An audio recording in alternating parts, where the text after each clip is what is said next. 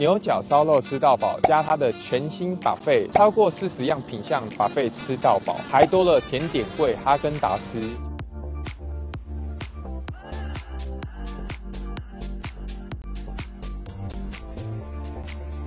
牛角把费的品相有变少一些，因为它的很多小菜或者是汤品都直接变成把费那边。我刚刚进来看一下，它把费真的超多样的。那我们今天点八九九的就好了。那那边用餐一百二十分钟，点餐九十分钟，那我们赶快直接用 QR code 点餐吧。先来点牛角一定要点的牛腹肉。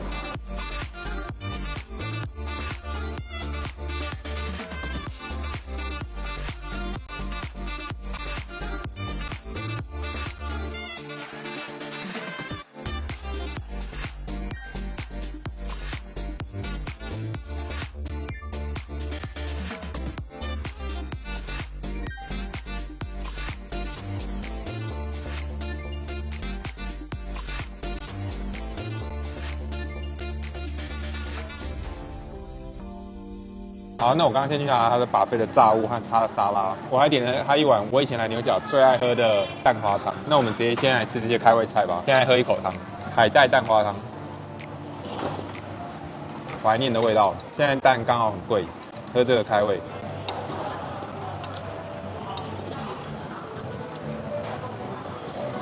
嗯，还有点黑胡椒的香味。好，我们现在吃它的炸物，带皮脆薯。它那个保温箱好像没有什么保温的效果，有点偏凉掉。鸡软骨，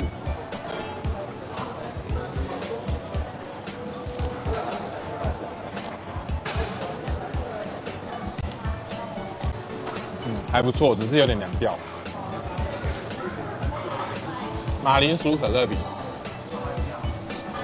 它的马铃薯很浓郁。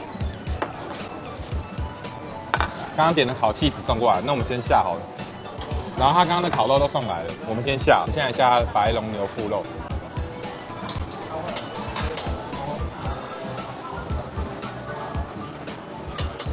我们继续来吃它的炸物，地瓜薯条。它这个地瓜薯条上面有加那个糖粉，吃起来很甜。哇，它这个切的很薄哎，它这个很薄的口感，吃起来像那种脆片，然后甜甜的，蛮好吃的。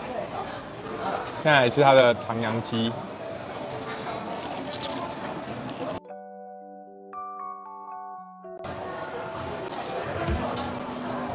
这个炸鸡还不错，蛮日式的。蔬菜可乐饼，哇，它那个吃起来跟刚刚马铃薯可乐饼蛮像的，它可能放错了。我们现在沾它的这个起司。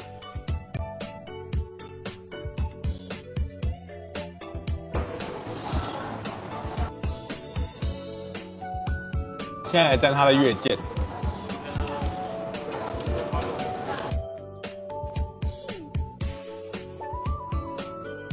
它的牛腹肉就是牛味很重，然后偏油。它的白龙牛腹肉超大一片的，先把剪刀剪一下。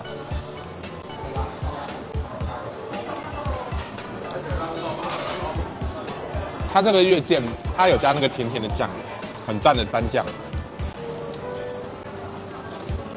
它这个肉就比较厚，肥瘦各半。刚刚最基本的牛腹肉就比较油一点。好，我们现在来吃它的沙拉。像以前吃牛角都有吃那个凉拌高丽菜，这边的话就是全部都用自助。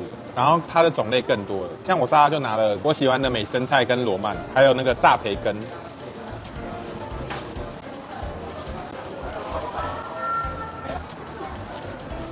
我以前来牛角就是狂吃它的凉拌高丽菜，现在变自助吧，就是狂拿。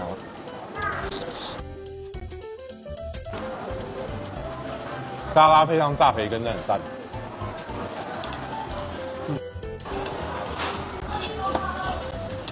那我们现在烤它的牛肋条。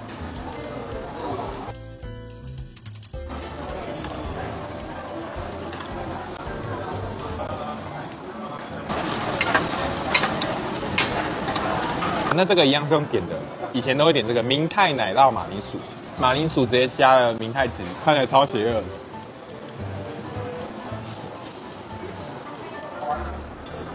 明太子马铃薯它有奶酪跟明太子两个很浓郁的味道，跟马铃薯很重的原味混在一起，让它的层次丰富，吃起来真的超爽。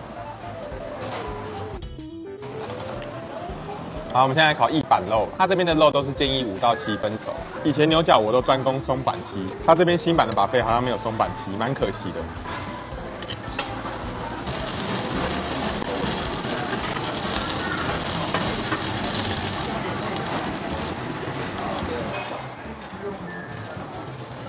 而它的牛肉条，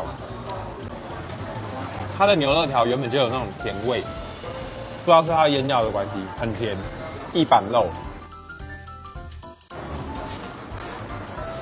嗯，油脂很少，非常扎实的口感。来一下彩石牛，牛角牛排。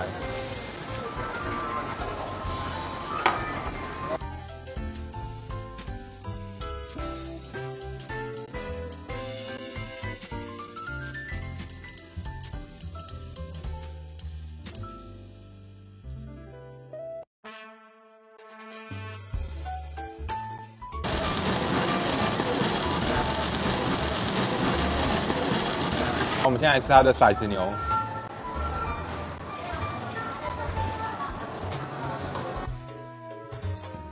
配牛角泡菜吃，牛角的泡菜真的蛮好吃的。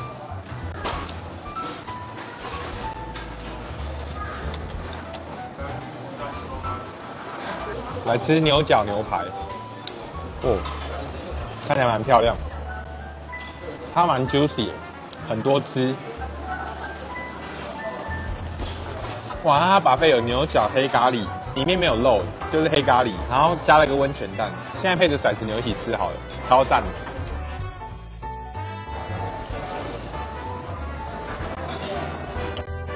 它就是那种很多新香料熬煮成的黑咖喱，味道特别浓郁。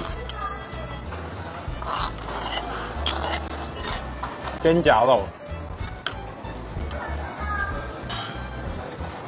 猪五花。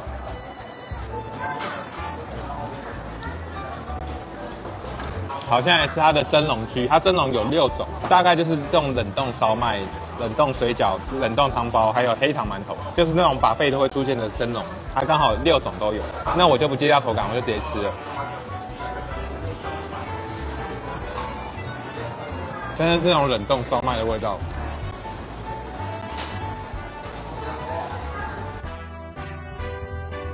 牛肩胛肉。也是那种很扎实、没什么油脂的肉。猪五花，它有分大片跟小片的。然后我建议来这边点肉，全部都点这个月见，这样它会来一堆月见蛋黄，很赞。小片就是油脂肥肉，大片就是瘦肉，要两片一起吃才会肥瘦刚刚好。嗯，那现在来吃它这个八九九才有的多蜜牛肉汉堡吧。哇，它这个下面是那种茄汁酱。嗯，它超软嫩，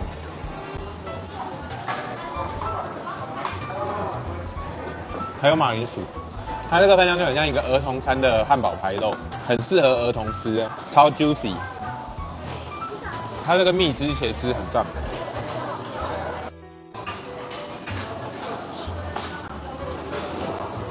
现在喝它的牛五花辣汤。它这个很韩式，它很像那种加了韩式辣酱的做出来的辣汤，蛮辣的。它把贝也有海带芽汤，但是就是超普通的那种，就海带芽而已，所以汤还是用点的会比较好。嗯，这是橄榄油蒜味鲜科，先沾一些橄榄油。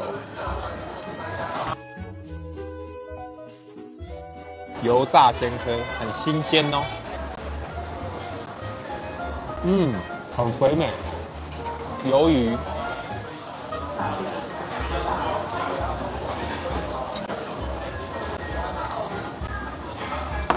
法兰克香肠，来下麻辣烤鱼肠。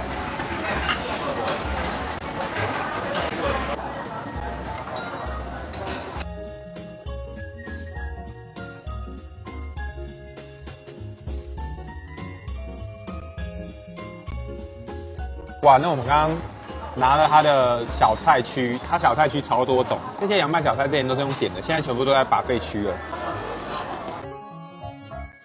来吃麻辣牛筋，它这个麻辣牛筋味道蛮重，调味蛮重的，很咸。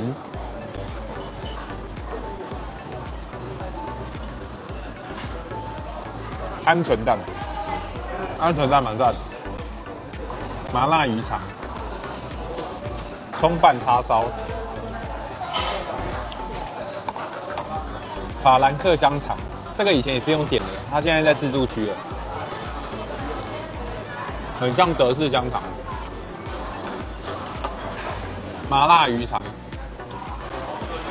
哦，那个麻辣鱼肠真的很 Q 的，要一直嚼，很像猪肚。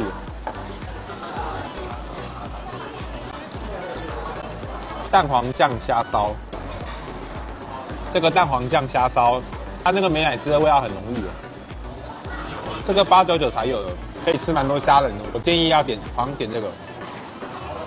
哇，烤饭团，外面烤的脆脆的，有有那种锅巴的口感，很赞。它一个烤饭团蛮大的，建议三四个人一起分食，不然会蛮饱的。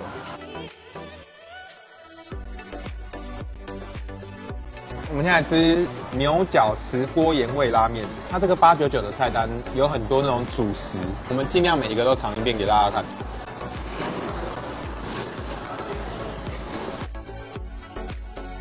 它就是那种很清淡的盐味拉面，面还蛮 Q 的，有附它这个牛腹肉，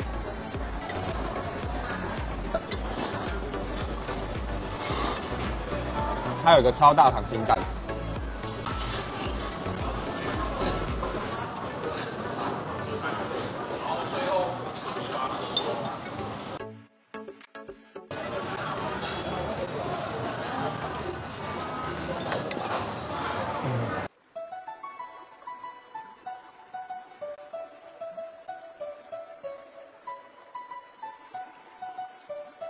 现在来吃这个明太子鲑鱼拌饭。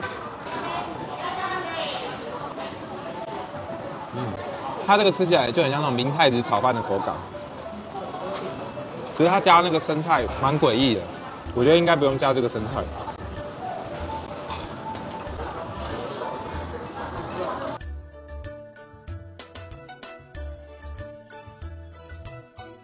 现在来吃最后一碗牛角冷面吧。嗯，它这个牛角冷面就是那种外面吃到那种韩式冷面，它那个面皮可能有冰镇过，吃起来超 Q 弹。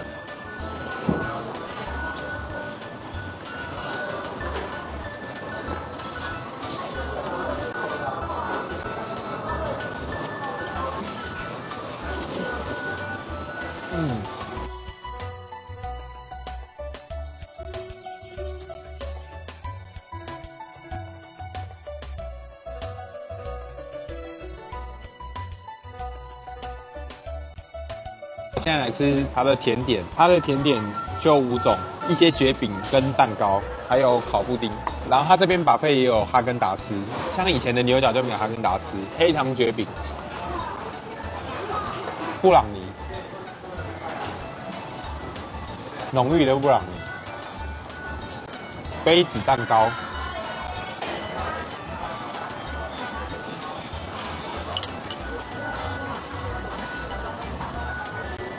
烤布丁，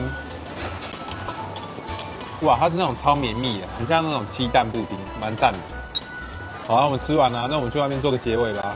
好了，我们吃完啦。那刚刚吃完还逛了一下拉拉 port，现在在拉拉 port 楼下，那真的是吃的超饱的。那刚刚吃下来的感想就是，他就是把以前牛角吃到饱菜单上可以点到的一些小菜和开胃菜，然后移到把费上面，但是品相变得更多，然后还多了一些蒸笼咖喱，然后还多了一个甜点柜和哈根达斯，但它的价钱有变贵一点。虽然它的最便宜价位还是六九九，但是肉就少了很多。然后在六九九、八九九跟一一九九，我吃下来的感想是，只要点六九九或一一九九比较好，因为一九九才能吃到和牛、松板猪、横膈膜那些比较高级的肉，可是这样换算下来的话，价位又太高了。然后六九九的话就比较便宜，但是它的肉的品相其实蛮少的。八九九虽然有增加一些肉，但是它增加的主要是很多主食，像我刚刚最后面吃了一堆主食类的商品，是八九九特有的。但是我吃下来感觉是非常的容易饱，而且它每个主食的分量都蛮多的。我觉得要三四个人来一起 share 的话会比较好，一两个人来吃的话，可能没吃几样就就很饱了。如果是六九九狂吃它的牛胸腹肉搭配它的把费的话，还有哈根达斯，这样或许也是不错的。整体品相。